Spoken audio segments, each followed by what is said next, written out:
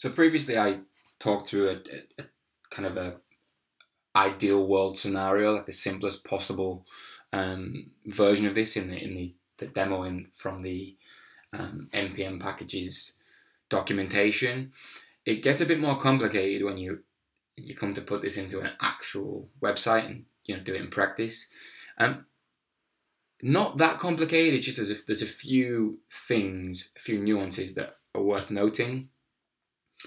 Um, I own and run um, my own conversion agency, which you'll probably be either watching this on YouTube or in the blog, so you'll either know or you won't. Um, but the advantage of that is it gives me a website to play with. So this is the live site. This is my staging environment. Um, so what I've done is I've implemented um, a server-side test um, on my actual live or staging site. Um, I've already completed it, so I'm not going to go through it step by step in terms of me um, implementing it, but it's probably worth just running through um, how it works. So previously, um, all the code that we uh, had in the demo all lived inside that I think I called the file target server.js.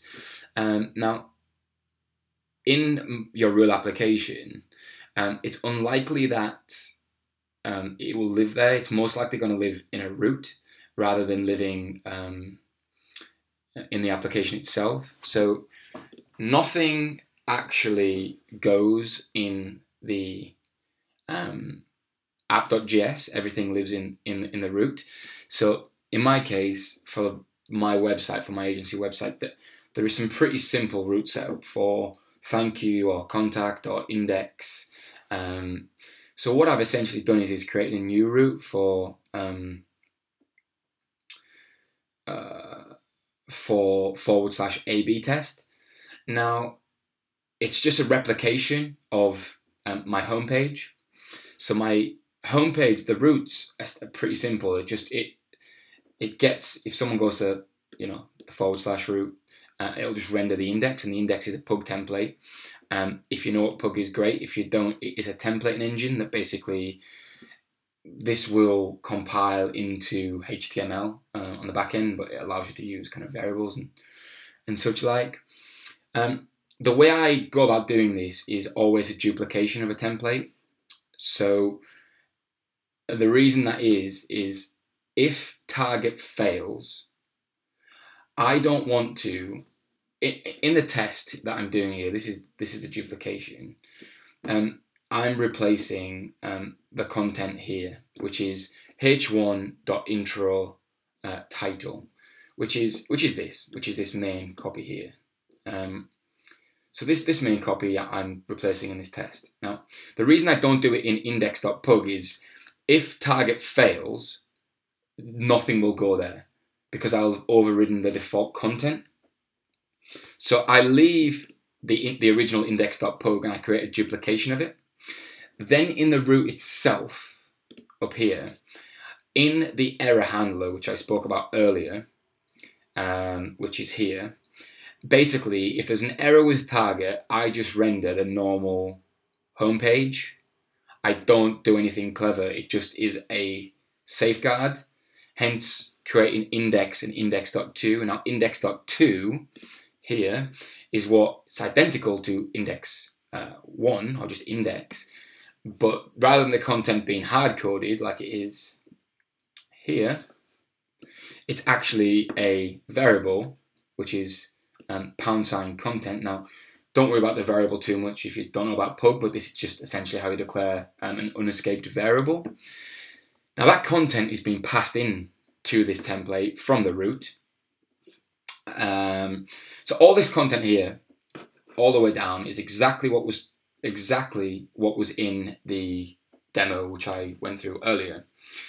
The only thing that changes is you need a way of passing the content into a templating engine or um, if you're using a single page app uh, framework like a Node or an Angular, some way of, of storing it.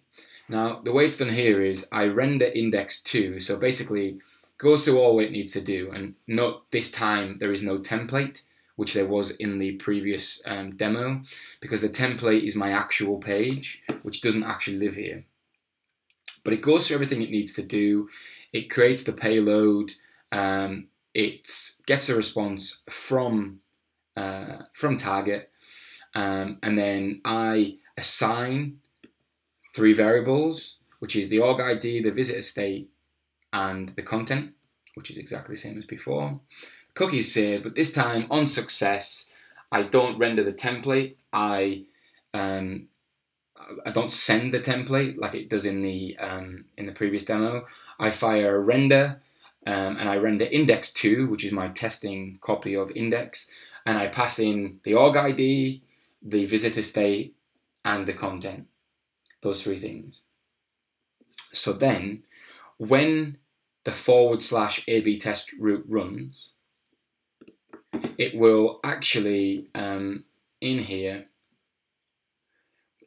it will replace org ID with the correct org ID, which is passed in. The server state will be passed in the server state object, and the content will be whatever is returned from the server, which could be experience A or experience B.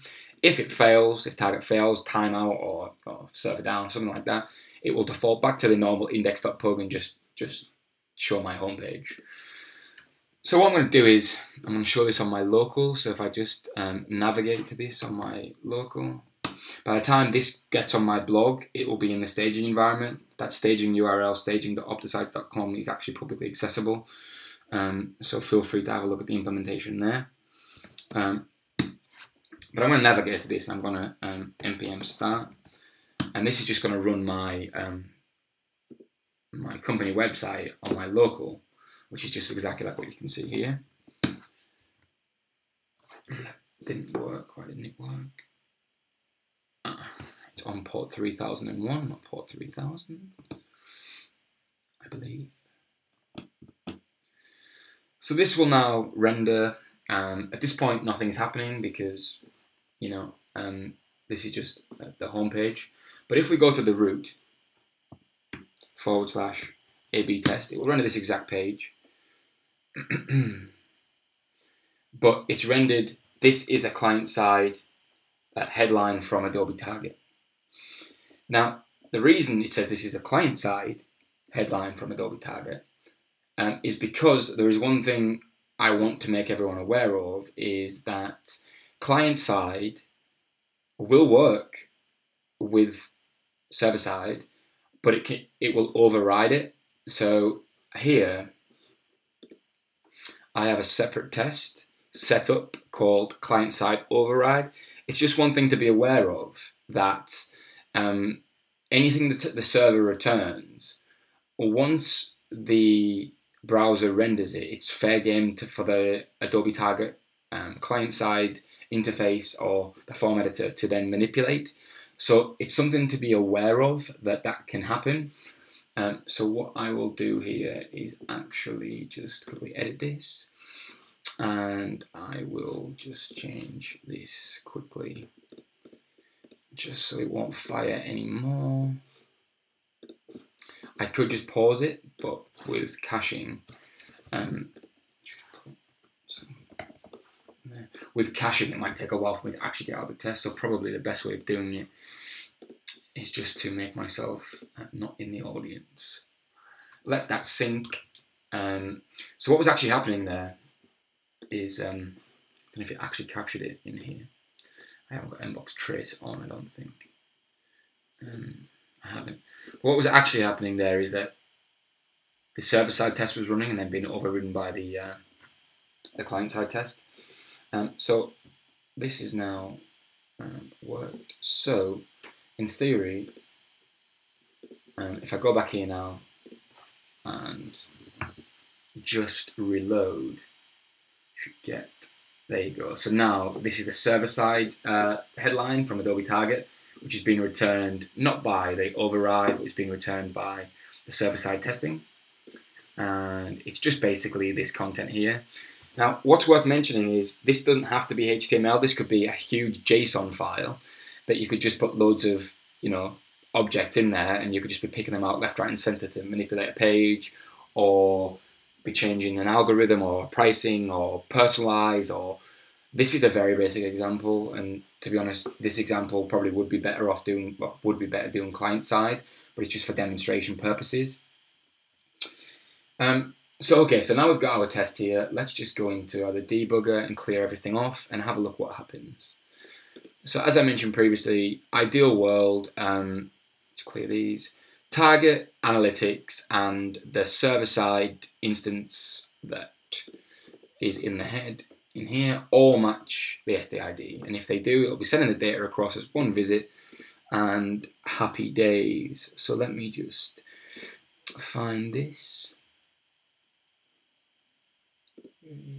So you'll see here, this will change when I refresh. So let's just again. So work from this way forward.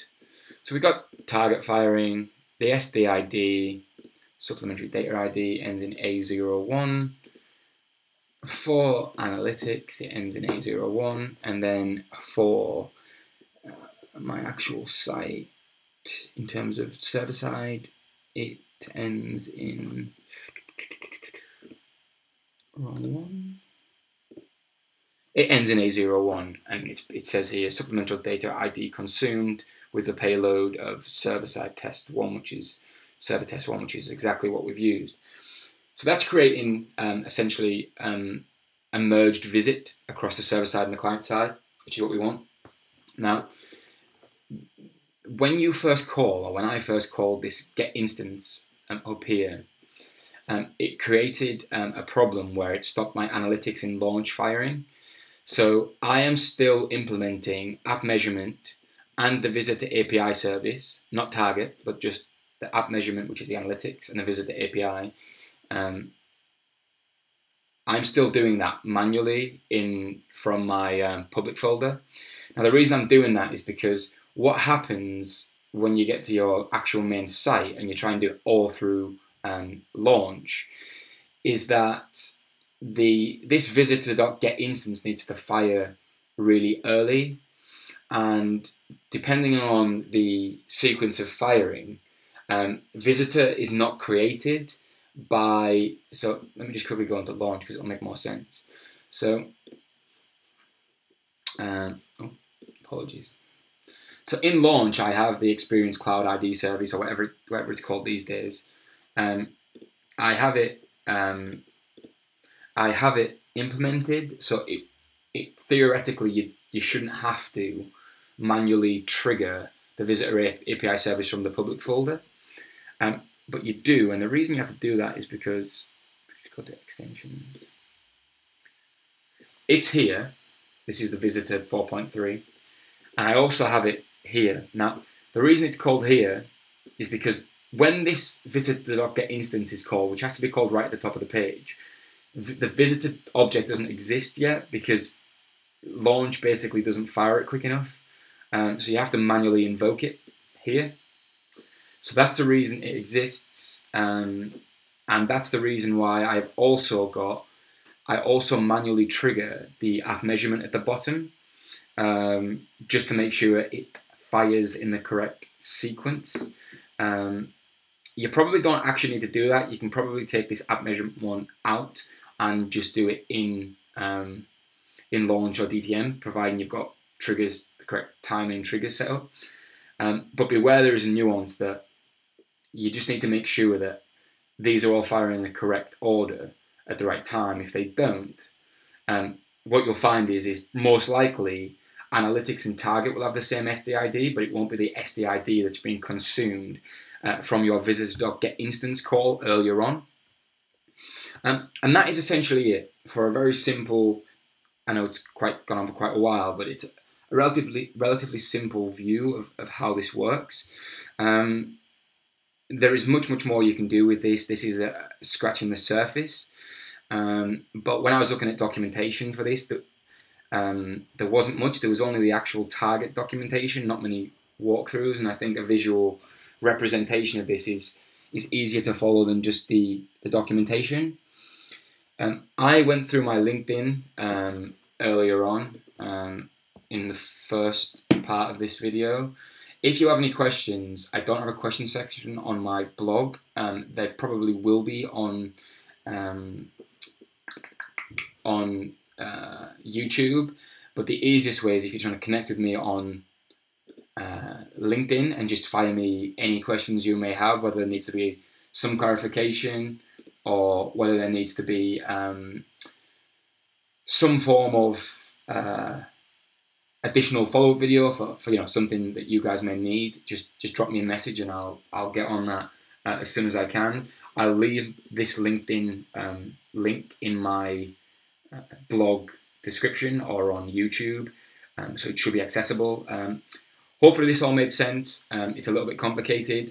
Just to wrap up, in my opinion, server side is not the answer to the vast majority. It's the answer to the minority of testing um, situations you come across. Client side is still the way I'd go with everything if I could. Um, from a performance aspect, target is so so quick on um, at loading. It has borderline no impact. Um, security, I don't see it to be concern. Um, it's only when you have complex tests. If you start to move server side with too much stuff, your developers will be over the moon. They may love that, and that's great. But there is massive value in a marketing team, a mildly technical marketing team running tests, especially when you come to personalization, you're just changing probably copy. Um, so to have both definitely um, is uh, is a huge advantage. It definitely is, you know, uh, more in the arsenal. Um, so there isn't a right or wrong. It is definitely a hybrid approach um, that I would advise. But thank you very much for uh, listening, and there will be follow up videos on this. So thank you.